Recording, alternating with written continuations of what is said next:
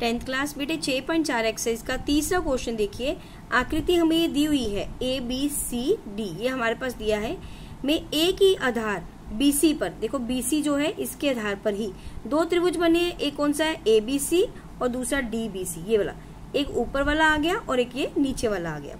कहते यदि A D A D BC को ओ पर प्रतिषेध करे प्रतिषेध करे मीन काटे तो दर्शाइए कि त्रिभुज एरिया जो है क्षेत्रफल एबीसी का, बटा एरिया किसका? बीडीसी का। किसके बराबर है? एओ बटा डीओ ये इसके बराबर है। ये हमें सिद्ध करना है। देखिए बेटा, जो हमें दिया था, हमने ऐसे कर दिया। दिया है वो लिख लेते हैं, एक ही आधार बीसी पर त्रिभुज एबीसी और त्रिभुज डीबीसी बने हुए हैं। एडी और बीसी ओ पर काटते हैं। अब हमने सिद्ध करना है कि एरिया इसका ए त्रिभुज एबीसी और एरिया जो त्रिभुज डीबीसी का, किसके बराबर है? एओ बटा डीओ हम बेटे, इसमें देखो, दोनों एक ही धार पर बने त्रिभुज है ना? अब देखो, क्या कर रहे हैं हम? रचना कर रहे हैं अपनी तरफ़ से। ए एम एक लंब खींच रहे हैं किस पे? बीसी पे, और डी एन लंब खींच रहे हैं बीसी पे। ए एम लंब खींचे बीसी पे, और डी एन लंब खींचे बीसी पे। अब दो त्रिभुज बन गए छोटे छोटे एक बन गया ए एम ओ दूसरा बन गया डी एन ओ एक ए एम ओ और एक डी एन ओ देखो, इसमें बेटे, लंब जो होता है, कितने डिग्री का कोण होता है? नब्बे डिग्री। ये भी यहाँ पे ये भी नब्बे डिग्री बनेगा, यहाँ पे ये।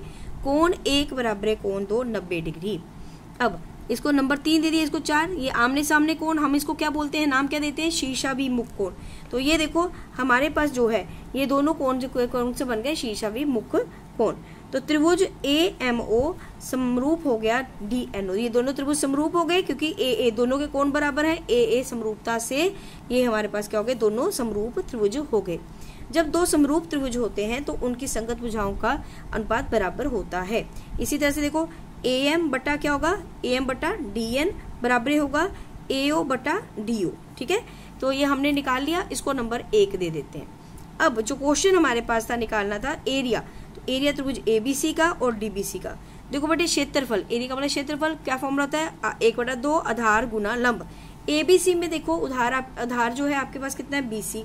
और लंब कितना है? ए एम इसी तरह से इस त्रिभुज में आपके पास एक बटा दो आधार। आधार तो बीसी दोनों में सेम था और लंब कितना है? डीएन तो हमने यहाँ पे लिख दिया एक बटा दो बीसी गुना ए एम बटा एक बटा दो बीसी गुना डीएन अब एक बटा दो से एक बटा दो कट गया बीसी से बीसी कट गया, बच गया ए एम बटा डी डीएन अब हमने पहले लिखा था ए एम बटा डी एन किसके बराबर है? ए ओ बटा डी ओ के।